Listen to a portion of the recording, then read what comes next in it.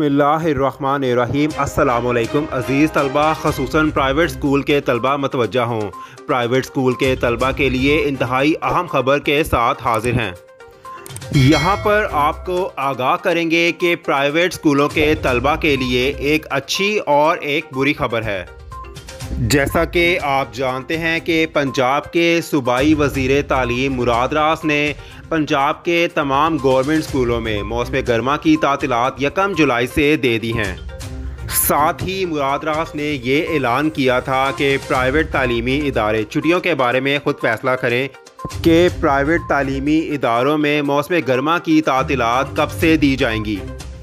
Private स्कूलों के तलबा के लिए बुरी खबर ये है कि उनको सिर्फ़ 12 छुट्टियाँ होंगी, जिसमें मौसम गर्मा की तातीलत और ईद हॉलीडेज़ भी शामिल हैं।